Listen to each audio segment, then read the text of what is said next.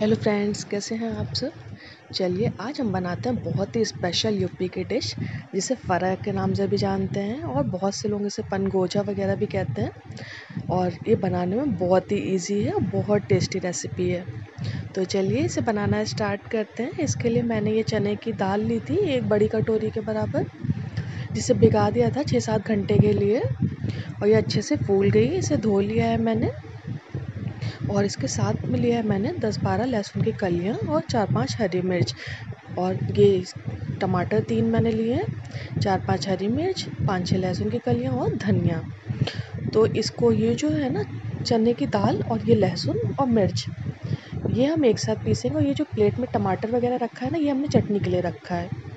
तो ये देखिए, मैंने पीस लिया है। और इसको ऐसे ही ड्राई पीसना है, पानी ज़्यादा मत डालिएगा। और ये चटनी में मैंने पीस ली है। तो ये टमाटर, ये धनिया, मिर्च और लहसुन, इसमें नमक डाल के मैंने चटनी पीस ली है।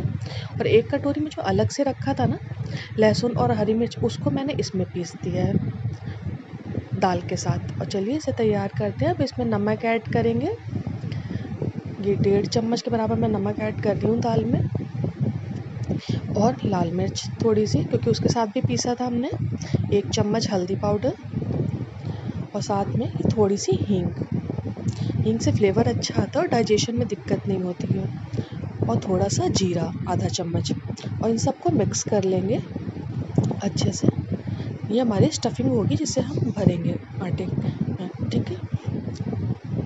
और ये खाने में बहुत टेस्टी लगती है, बहुत जल्दी बन जाती है। ये देखिए, हमने इसे मिक्स कर लिया है। और ये इसे जब पीसिएगा तो ज़्यादा गीला मत करिएगा, इसे ड्राई ही रखिएगा। मुश्किल से मैंने तीन चार चम्मच बराबर पानी बस डाला होगा। और ये आटा ही नॉर्मल रोटी वाला आटा जो हम बनाते हैं ना, सानते हैं, पानी डाल के बस वैसे ही इसे सान लेना है। बस हल्का सा इसे थोड़ा सा रोटी से जैसे बना करते हैं ना, वैसे थोड़ा सा बस टाइट रखना है, ताकि ईज़िली बन सके।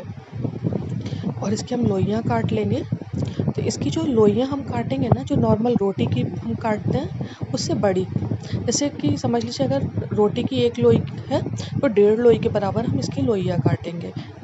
क्योंकि हमें इसकी जो है ना, थोड़ा थिकनेस में बनाना है। ये हमने लोइयाँ काट ली, मैं बना के एक दिखाती हूँ आपको। ये एक लोई ली। ये देखिए। और सूखा आटा लगा के इसे बेल लेंगे। ये देखिए।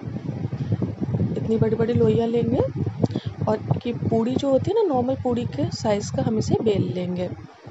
इसे बहुत पतला मत बेलिएगा, ये थोड़ा सा मोटा ही रहेगा। और ये देखिए, इसकी थिकनेस ये इतना मोटा हमें इसको बेलना है। इससे पतला नहीं करिएगा। और अब इसमें हमने जो स्टफिंग रेडी की है ना, दाल की, इसको हम भर देंगे। ये एक चम्मच के बराबर मैं भरती हूँ इसमें। थोड़ा सा और डालूँगी। बस, अब इसे जो है ना, जैसे हम गुजिया बनाते हैं ना, होलियों में, उस तरह से इसे बस पैक कर देना है, चारों तरफ़ से दबा के। और एक मतलब जब बनाएँगे ना तो इसमें बहुत ज़्यादा मत भरिएगा। इतना भरिएगा कि ईज़िली जो है ना, ये बंद हो जाए। और क्योंकि जब ये भी बॉयल होगा ना तो फूलेगा। तो एक चम्मच सफिशियंट है भरने के लिए। ये देखिए, इस तरह से हम बना लेंगे बाकी सारी भी। ये मैंने बना लिया है और अब इसे हम बॉईल करेंगे। और इसे आप नाश्ते में खाइए या लंच में डिनर में बहुत टेस्टी लगता है, बहुत इजीली बन भी जाता है। तो चलिए इसे बॉईल करने के लिए तब तक रख देते हैं। ये कुकर चढ़ा दिया मैंने गैस पे और इसमें पानी डालेंगे। ये एक गिलास पानी, ये दो गिलास पानी हम इसमें डालेंगे। और ये एक चम्मच रिफ़ाइंड का एक और डालती हूँ। दो चम्मच मैंने पानी डाला है, दो चम्मच रिफ़ाइंड ऑयल डाला है। रिफ़ाइंड डालने से क्या होगा, ये चिपकेगा नहीं और आपस में ना फटेगा नहीं जब ये बॉयल होगा। तो सारी जो हमने बना के रखी है ना गुजिया, ये हम सारी इसमें डाल देंगे। और इसको सारा डाल के हम कुकर में दो सीटी बस लगाएँगे। दो से ज़्यादा नहीं लगाना है। दो सीटी में आराम से पक जाएगा। और दो सीटी में जब पक जाएगा, उसके बाद जब प्रेशर निकल जाएगा, तब हम इसे खोल के देखते हैं। और ये देखिए, जब ये इसका प्रेशर निकल गया है, ये पक गई है आराम से, और इसको हमने निकाल लिया है किसी बड़े बर्तन में। निकाल लीजिएगा, कि थोड़ा ठंडा हो जाए, पानी अलग जो बचेगा वो पानी फेंक दीजिएगा। और ये हमने निकाल लिया है, अभी थोड़ा ठंडा भी हो गया है। तो अब हम इसको थोड़े से पीसेस में काट लेंगे।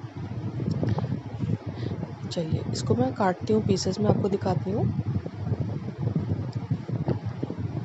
पीसेस में आप अपने चॉइस के हिसाब से काट सकते हैं, पतले, मोटे, या इसके, इसको खाली दो पीसेस में भी कर सकते हैं। वो आपके अकॉर्डिंग आपके ऊपर है कि आप कैसे उसे फ्राई करना चाहते हैं। तो मैं तो ऐसे कर रही हूँ छोटे छोटे पीसेस में, क्योंकि इससे क्या होता है ना, जब हम फ्राई करेंगे तो अच्छे से सब तरफ़ से फ्राई हो जाता है और थोड़ा सा क्रिस्पीपन जो है ना, इसमें आ जाता है और खाने में बहुत टेस्टी लगता है। ये देखिए, इतने बड़े बड़े पीसेस मैंने काटे हैं। ये देखिए, मैं दिखाती हूँ, अच्छे से अंदर से पक भी गया दो सीटी मैंने लगाई थी। ये देखिए, ये दाल बिल्कुल पक गई है अच्छे से, कोई कच्चापन नहीं है इसमें।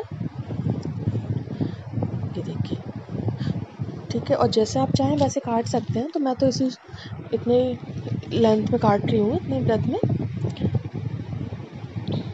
ये देखिए तो बाकी जितना फ्राई करना है, उतना मैं काट लेती हूँ। फिर इसे फ्राई करते हैं। एक बार में बहुत ज़्यादा जब फ्राई करेंगे ना तो बहुत ज़्यादा नहीं करेंगे। मतलब मान के चलिए कि तीन चार फरे जो है ना, एक बार में हम फ्राई करेंगे, उससे क्या होगा कि अच्छे से भुन जाएँगे और दिक्कत नहीं होगी। बहुत ज़्यादा फ्राई करेंगे तो फिर जल्दी वो फ्राई नहीं होंगे। तो थोड़े थोड़े करके फ्राई करिएगा। मतलब पाँच छः फरे आप एक साथ फ्राई कर सकते हैं। या फिर बर्तन के अकॉर्डिंग आप छोटा बर्तन ले रहे हैं, बड़ा बर्तन ले रहे हैं, उस उस पर भी डिपेंड करता है। तो मैंने इतने काट लिए हैं। और अब कढ़ाई चढ़ा देती हूँ गैस पे। और इसमें हम ऑयल डालेंगे। मैं रिफाइंड ऑयल यूज़ कर रही हूँ। आप चाहें तो इसमें तड़का भी दे सकते हैं, जीरे और राई का बट मैं नहीं दे रही क्योंकि मुझे ये ऐसे नॉर्मल फ्राई अच्छे लगते हैं, और इसको हम डाल के इसमें फ्राई करेंगे तीन से चार मिनट में। इसको मीडियम आँच पे फ्राई करेंगे। एकदम से बहुत तेज़ पे नहीं फ्राई करेंगे, वरना फिर वो जल जाएँगे और वो टेस्ट नहीं आएगा। तो इसे धीरे धीरे मीडियम आँच पे फ्राई करेंगे तीन से चार मिनट में। और जब इसका कलर जो है ना थोड़ा सा गोल्डन चढ़ने लगेगा और ये थोड़ा सा डार्क वाला जो होगा ना, जैसे कि अच्छे से भुन जाता है थोड़ा सा रेडिश पे, तब तक हम इसे भूनेंगे। ये देखिए, ये थोड़ा थोड़ा होने लगा है और अभी हम इसे थोड़ा सा और भूनेंगे, ये देखिए। इस तरह से जब ये होने लगेगा ना, तब ये थोड़ा सा क्रिस्पीपन पे आएगा। और तब खाने में बहुत ज़्यादा टेस्टी लगने वाला है। तो आप इसे किसी भी वक्त खाइए, बहुत ज़्यादा टेस्टी लगता है। मेरे घर में तो सब बहुत पसंद करते हैं और अगर आपको भी ये रेसिपी पसंद आए ना तो आप मुझे कमेंट करके ज़रूर बताना कि आपके यहाँ इसको क्या कहते हैं और आपको ये कैसी लगी। तो ये देखिए, ये रेडी हो गया है। अब हम इसे सर्व करते हैं। ये आपके लिए रेडी है।